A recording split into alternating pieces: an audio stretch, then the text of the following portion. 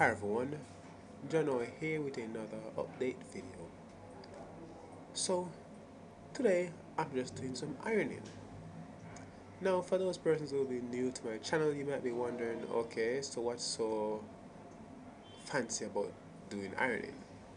Well, I'm using solar.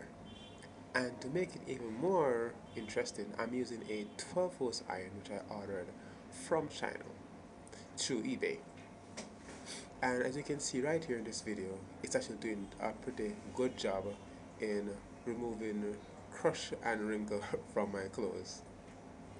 So I actually just finished some washing and I'm just doing some ironing now for the week. So I normally iron on a Sunday and I have enough power coming in from the panel that I am able to now iron while my batteries are kept on float and you can look right here.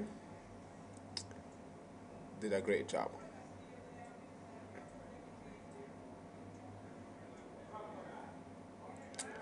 Let's look at something else like for example a pants. Alright and I'm just spraying some water. Even it's a dry iron but yeah I still use water some of the times depending on what clothes I'm actually ironing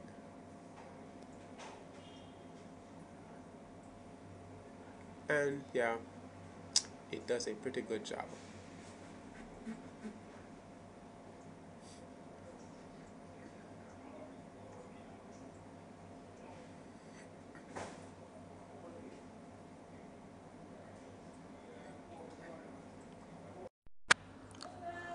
One thing that I particularly don't really like about this iron is that uh, when it came the iron that the wire that it came with were very thin and so while using it it uh, overheated so I actually upgraded the wires so thicker wires and not much problem now. But I also noticed that while I'm ironing sometimes I have to wait maybe five minutes for the iron to actually properly heat up. And sometimes during ironing ironing process now I have to stop sometimes to give it other time just to heat up properly. But what I realized that I didn't really have this problem on 24 volts. But then again, the iron actually got extremely hot on 24 volts. So I think more or less that I think 16 volts probably they're about to be a, a more ideal for this iron instead of just regular maybe 14 volts. I remember while on 14 volts it's gonna go back um it's gonna go back down to maybe about 13 point something 12 point something volts. So I think maybe a steady 15 14 volts somewhere there about would actually be more effective.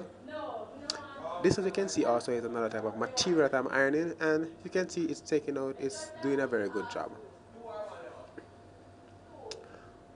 What I think I'm going to do to actually um, solve the problem now in terms of the heating of the iron and so forth is I'm going to actually use a boost converter. I'm going to get one that's rated for 250 watts since this iron is rated for 100 watts and then I'm to set the voltage to about maybe 15 volts as I mentioned roughly and see how well which both which voltage actually is more effective for this iron. And you can see a very good job done.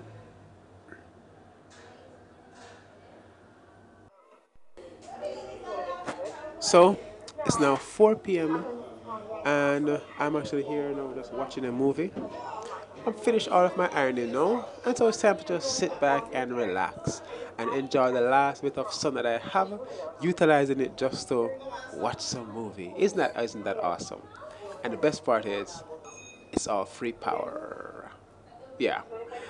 This, of course, is the control center, and you can actually watch my previous videos where I will actually explain all of these components that I'm using here well, you can see that I'm actually pulling just amount just the amount of power that is needed just to power um, the TV and DVD and to keep the battery on float.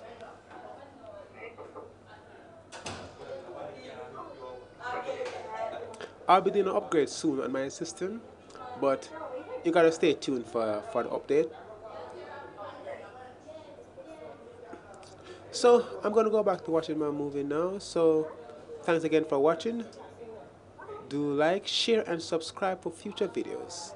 Have a good day.